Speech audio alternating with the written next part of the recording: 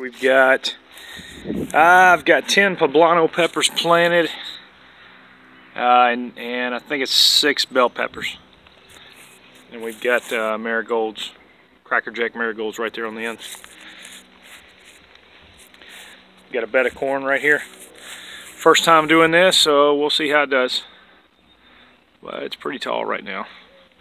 I seeded in the middle. Not a whole lot of them has came up, but we do have some that's came up here.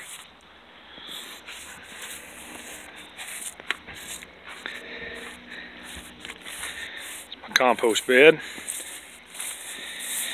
Over here I've got my lettuce.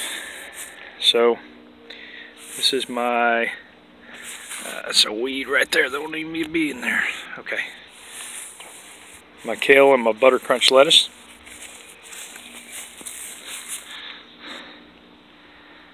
And I've got spinach down here also.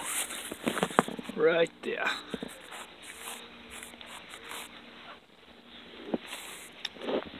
And here are my tomatoes. I've got, uh, I think it's six, maybe six Rapunzels, and maybe like 10 beefsteaks, something like that. 10 or 12 beefsteaks.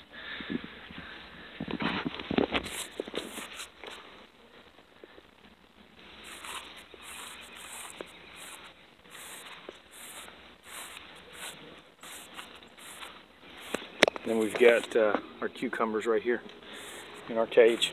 Same as last year. There she is. I'll be posting here soon. Today is May 3rd, 2017.